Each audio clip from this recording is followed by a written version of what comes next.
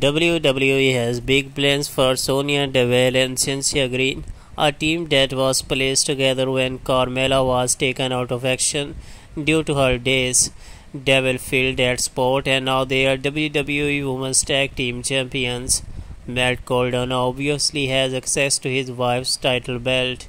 He posted a photo of himself holding Chelsea Green's WWE Women's Tag Team title belt along with a very entertaining caption. This photo also came from a DDT Pro event as he tagged with Stephanie DeLander. This was the event happening in New Japan Pro Wrestling event.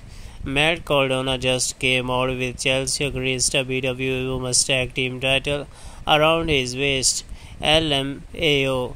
This is insane and hilarious, and this is what you were not expecting.